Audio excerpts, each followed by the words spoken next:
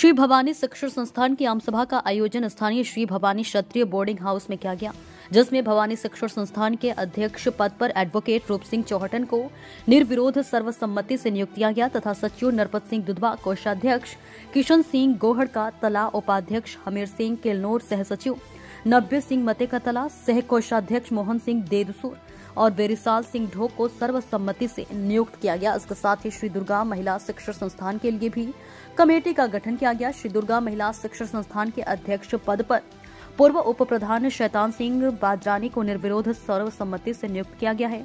तथा सचिव खेत सिंह खोनिया, कोषाध्यक्ष दुर्जन सिंह, किलनौर उपाध्यक्ष निम्बू सिंह अकोड़ा सह सचिव जामन सिंह देदूसर को सर्वसम्मति से निर्विरोध नियुक्त किया गया है। इस अवसर पर श्री भवानी शिक्षण संस्थान के संबंध में विभिन्न प्रस्ताव पारित किए गए। तो हमने कमियों को दूर भी किया। कई लोगों का विरोध झेलना पड़ा। फिर भी हम हमारे लक्ष्य की ओर बढ़ते रहे। यहाँ भी चुनौतियाँ हिंदुस्तान खड़ा किया। जिन लोगों ने भी आर्थिक रूप से शारीरिक रूप से